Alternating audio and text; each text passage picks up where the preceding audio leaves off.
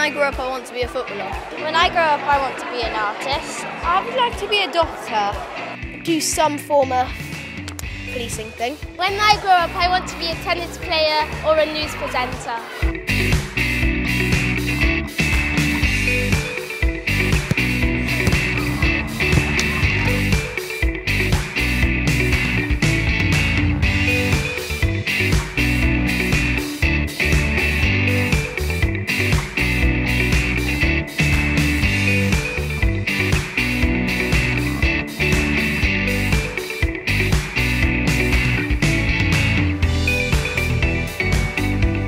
been involved with the No Child Left Behind agenda for um, really since its inception.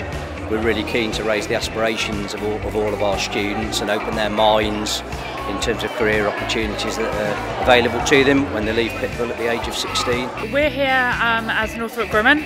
Um, we're a cyber defence company in Cheltenham. So we're doing the escape room. It basically is showing them different ways of programming. The kids are really, really engaged. Um, they really enjoy it. They're working as a team. Tidal is a training company based in Gloucestershire and we do pre-hospital training. The kids have loved it. They, they like the interaction, they like getting onto the mannequins and doing the CPR, they like using the defibrillator. They're not so happy about doing the mouth-to-mouth bit, the rescue breaths, but a few of them had a go and they've had a really good stab at it. We did that John Lewis, which was basically seeing what there was and sort of like who you'd buy it for and sort of like what prices and why they'd want that. We've also done stuff with like marketing, concerts, you know, so like concert organisation, venues, how to advertise, how to get involved, and we've also done that gloss jobs.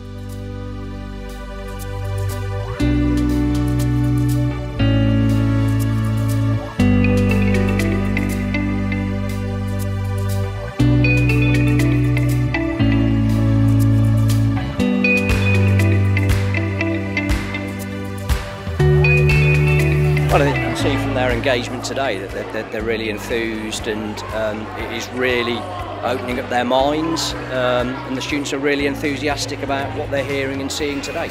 Gloss Jobs are really pleased to be involved in the No Child Left Behind project and it's so fantastic to see so many children coming through and being really interested in writing their first CV and everything else that's going on here.